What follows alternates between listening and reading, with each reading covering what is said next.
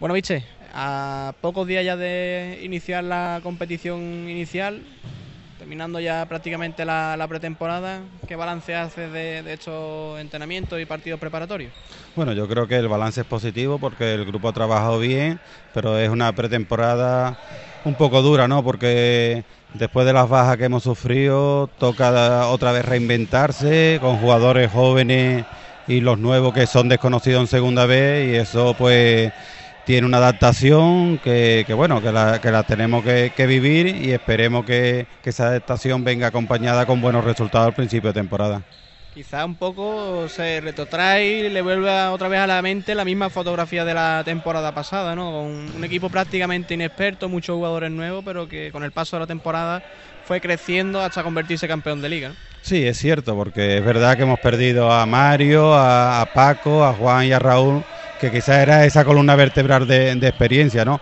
Lo que pasa es que si hablamos ahora de que vamos a luchar por no descender, yo creo que nadie nos creería, ¿no? Después de quedar campeón del grupo de segunda vez, es complicado, pero sí es cierto que es un equipo nuevo, que tenemos que mirar desde abajo hasta arriba y cuando veamos en las primeras jornadas, en el primer tercio de la temporada, cómo van de resultados, ya podremos ver un objetivo concreto de, cara a la clasificación. Pero lo más importante es que el equipo disfrute de esta liga, que salga a divertirse, que fue lo que nos hizo el otro año pues, ser campeón del grupo.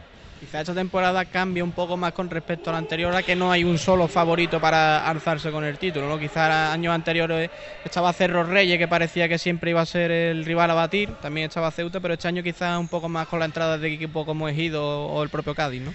Sí, yo creo que, este año es cierto que hay dos grandes favoritos por sus plantillas, que es Ejido, que, es una plantilla semiprofesional, con ocho jugadores de fuera, y Ceuta, que también ha hecho un gran equipo.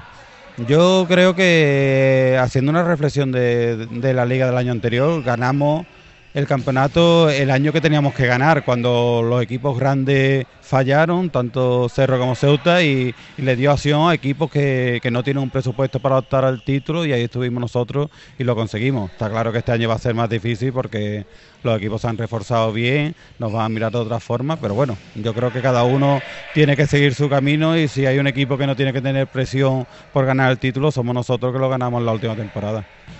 En cuanto al cuerpo técnico, se marchó tu segundo entrenador, pero también te llegan figuras nuevas como la de Pedro en la preparación física. Sí, hombre, contento que, que Pepe le vaya muy bien en Francia, porque bueno, eso es es un premio a, su trabajo aquí en Jerez y nos alegramos que, todas las personas del cuerpo técnico y jugadores vayan creciendo.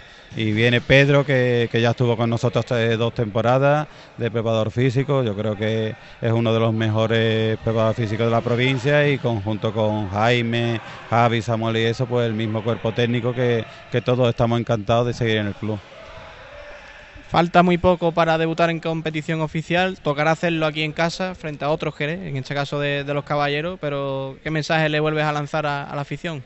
Hombre, yo creo que a la afición lo único que hay que decirle es que, que venga como el otro año, ¿no? A disfrutar, a apoyarnos y que es importante sobre todo en los primeros partidos donde es un grupo nuevo y vamos a encontrar muchas dificultades por la adaptación al campeonato que, lo sintamos cerca, ¿no? Pero pedirle nada, yo creo que ellos lo dan todo y, lo único que, se le puede solicitar es eso, que vengan, que, disfruten con el equipo, con el fútbol sala y ojalá ese binomio que hicimos el otro año se vuelva a repetir, porque yo creo que lo más importante que sacamos la temporada pasada, o por lo que yo me quedo, no es el título, sino eh, la despedida que tuvimos, ¿no? Yo creo que no conseguimos el ascenso, pero la afición nos despidió con una ovación porque yo creo que entendieron que ese, ese grupo dio el 120% de sus posibilidades. Eso es lo que le pido a los jugadores, al cuerpo técnico, que demos el máximo por los colores de este club y por el escudo y con eso estoy seguro que la afición también estará contenta.